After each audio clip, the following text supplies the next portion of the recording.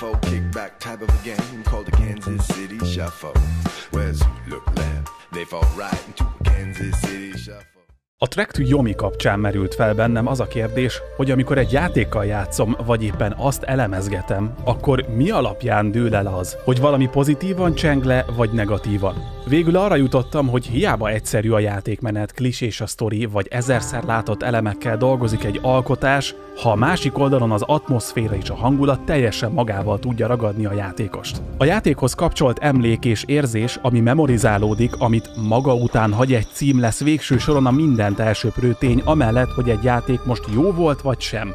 Amikor egy mechanika nagyon rosszul működik, vagy egy játékelem idegesítő, unalmas, esetleg végső soron teljesen feleslegesnek tűnik, akkor az meg tudja mérgezni az összképet. De ha mégis mindennek ellenére jó emléket hagy, akkor simán el tudjuk felejteni az összes hibáját, és az összkép pozitív marad. Ami biztos, hogy emiatt szükségszerűen minden alkotás megítélése teljesen szubjektív, hiszen ha nem tud bevonzani a körítés, a történet, a hangulat és az atmoszféra, akkor marad a játékmenet, és ha az sem tetszik, akkor teljesen ki tud magába dobni egy olyan játék, amelyet mások kultklasszisnak tekintenek. Ilyen például a Plague Tale is, amely van, akinek egy közepesen rossz akciójáték, másnak viszont, ahogy nekem is, egy mesterműnek tűnik. Egészen egyszerű magyarázatként azért, mert akit nem tud bevonzani a nagybetűs atmoszféra és hangulat, annak marad egy közepesnél rosszabb játékmenet képe, ezért aztán ő teljes joggal teszi félre, mondván, hogy ez egy túl hype unalmas, felejthető darab. Ez a cím egy fekete-fehér, minden elemében kuraszava filmekre hajazó alkotás, sőt, tulajdonképpen a legendás japán rendező idézőjeles filmjét játszhatjuk végig mi magunk, egy két és fél dés játék keretében, amely kicsit sem burkoltan ezt az egy elemét próbálja minden tekintetben meglovagolni. Hozzáteszem, ezt tökéletesen teszi, arra végképp nem gondoltam volna, hogy a Ghost of Tsushima után bárki megpróbálja majd, de végtére is, még talán hangulatában is sikerült felülmúlnia.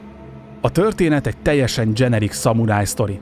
A kisgyermek látja a szerettei erőszakos halálát, nagykorára már mesterként látja a szeretett falujának erőszakos kifosztását és minden, amit eddig szeretett és ismert, pusztulását. Mégis azt kell mondanom, a történet az ezerszer látott mi volt ellenére be tudott rántani, mert a prezentáció, ahogyan elénk tárják azt, mesteri. Tökéletesen megrendezett, remekül ábrázolt környezetben hangoznak el fantasztikusan megírt párbeszédek, ami nagyon könnyen kirántja a játékot az egyébként klisés formulából. Olyan vérmocskos, vérgőzös, bosszuszomjas szörnyetekként kezdünk el véres östvényt vágni a fosztogatók soraiban, akiket minden bennünket ért rosszért okolunk, ami engem teljesen lenyűgözött mindeközben önsorsrontó módon az elvakult büntető hadjáratunk közben észre sem vesszük, hogy egyre csak rontunk a helyzetünkön, amíg megmaradt emberségünket és józaneszünket egyre jobban elveszítve törünk előre. Ami a játékost hivatott a képernyő elé szegezni, az a látvány. Az átvezető videók minősége annyira magasan van, ami már bőven túlnyúl az indi kategórián.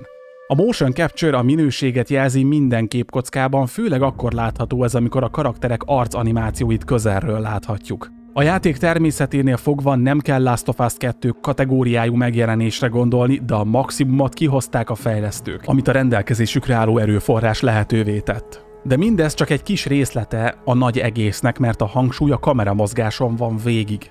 Amikor nem harcolunk, akkor főhősünket látjuk majd mindenféle filmes trükköket megszégyenítő kamerabeállításokból, amelyek ráadásul nem lefixált helyen vannak. Az előrehaladásunk közben két harc között felülről, oldalról, hátulról és tulajdonképpen minden irányból látjuk majd az eseményeket. Ezzel is egy kis frissítés sikerült belecsempészni a balról jobbra klasszikus kétdés játékzsánerbe. Az irányítás ilyenkor nem mindig lesz egyértelmű, de ez lesz a legkisebb gond, sokkal inkább a háttérben meghúzódó, vagy éppenséggel a karakterünk előtt, közvetlenül a kamera lencséje előtt fókuszon kívül homályosan lezajló történések fognak lekötni. Ugyanis az egész világ tőlünk függetlenül mozog és él. Erre szokták puffogtatni az élő lélegző világ kifejezést, de ezt már az ezzel foglalkozó szakma fényesre koptatta, úgyhogy én most ezt nem használnám. Így csak annyit mondanék, hogy mindig lesz valami, ami rajtunk kívül a mi ráhatásaink ellenére is egyszerűen megtörténik. Legyen az bármi, egy kibontakozó harc, egy menekülő asszony, aki nem tudunk már segíteni, mert minket csak a saját bosszunk érdekel, de az utcán temetetlenül fekvő holtestek mágiára dobálásán ügyködő gyermek is tudomás sem véve rólunk csak teszi a dolgát. Mindez zajlik pár másodperc alatt, ha csak átfutsz egy képen, megteheted ugyan, nem büntet meg érte a játék, de olyan jelenetekről lehet lemaradni, amely szívszorító, sőt néha gyomorforgató. Mindezt vizuálisan úgy látjuk, mintha a celluloid filmgyártás időszakában néznénk egy filmet fekete-fehér szemcsés szalaghibás mi voltában. A harcok viszont már a megszokott kétdés látványt hozzák, oldalnézetben rögzítve van a kamera, és jobbról balra vagy éppen balról jobbra harcolunk. Az összecsapások a hárítás, kitérés, támadás szent háromságában fognak leginkább lezajlani. Én a legnehezebb fokozatra tettem a játékot, illetve arra a fokozatra, amit a játék első végigjátszásra megenged. Nem kivitelezhetetlen így sem, sőt, a megszerzett képességekkel igencsak könnyedén lehet előre haladni, miután már megértettem, hogy mely kombók a leginkább testhez állóak. Nos, azt már itt el kell mondanom, hogy a responsivitás nem igazán erőssége a címnek, és akkor most a lehető legenyhébben fogalmaztam. Ha most kiveszem a képből a hangulatot, ami rányomja a bélyegét az egészre, akkor azt kell, hogy mondjam, ennél rosszabbul reagáló játékkal még életemben nem játszottam. A hit detection hol működik, de leginkább nem. Néha olyan sebzéseket is benyelek, amelyek méterekre vannak tőlem, néha pedig animáció szintén még át is megy a kardom az ellenségemen, de az ütést már ő nem kapja be. A ráfutásos támadások egyszerűen nem működnek, még a leglassabb támadás is hamarabb talál el engem, mint az elvileg pontosan a gyorsaságra alapozó támadásom.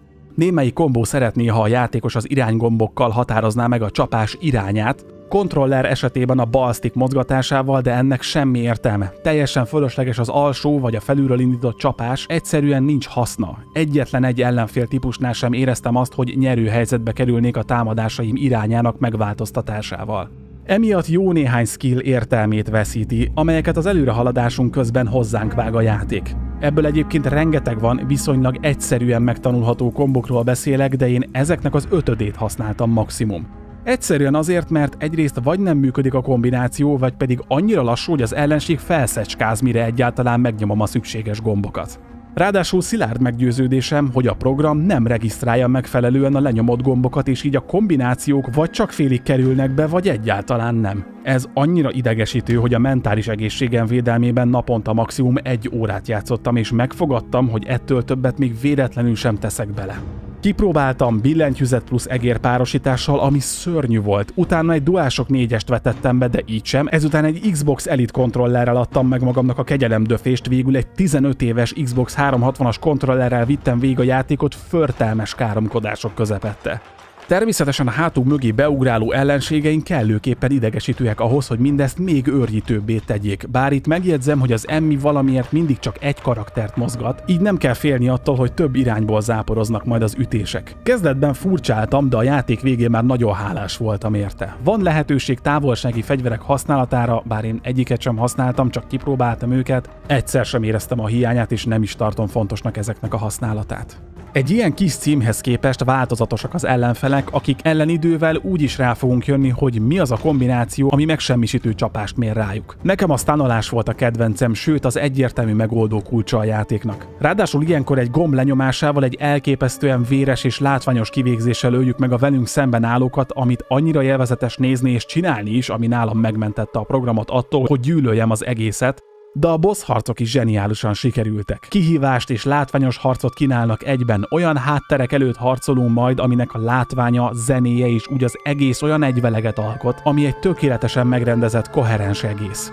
Arra nem is számítottam, hogy a történet közepén már tömény pszichológia ömlik majd a nyakamba. Kicsit nehéz dolgom is van, mert az 5 órányi felvételnek, amit lerögzítettem, mindössze csak egy kis részét tudom felhasználni szándékosan azért, mert engem teljesen ledöbbentett, hogy milyen helyszíneken járunk és hogy milyen ellenséggel harcolunk, éppen ezért nektek sem szeretném ezt lelőni.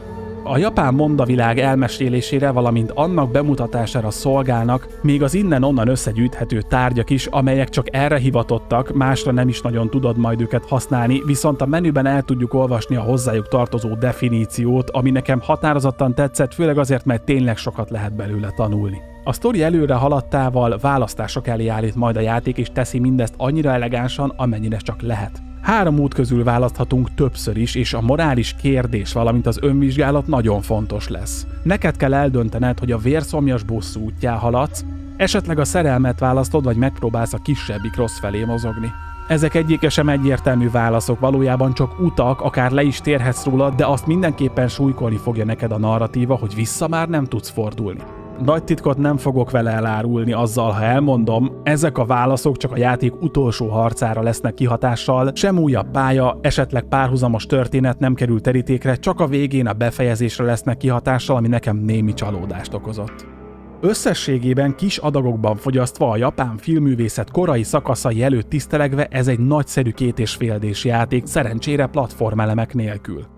A pályaszerkesztés lineáris, néha viszont majd lehetőség adódik egy-két mellékágra rálépni, ami mindig tartogat majd valamit, amiért megérte benézni oda. De a legjobb, hogy a környezeti adottságokat kiaknázva például egy gát áttörése, ami majd arra szolgál, hogy a kiömlő víz elsodorja az ellenséget az útból, vagy találunk egy szentét elrejtve, amelyek egyébként a mentősi pontokként szolgálnak és feltöltik az életerőt, de még meg kell említenem a zenét is, ami mondanom sem kell, hogy minden elemében hozzátesz a hangulathoz. Az összes idegesítő kis húzása ellenére én szívesen játszottam a Trek to Yomival, de csak egészséges keretek között. Minden esetre én köszönöm a figyelmet, ne felejtsetek el feliratkozni, benyomni a csengőt, ha tetszett a videó, nyomjátok meg a lájkot, ha nem tetszett, nyomjátok be a diszlájkot, és ne felejtsétek, Youtube-on szoktam hétköznaponként streamelni este 6-tól este 9-ig. Köszönöm szépen a figyelmet, legközelebb találkozunk, sziasztok!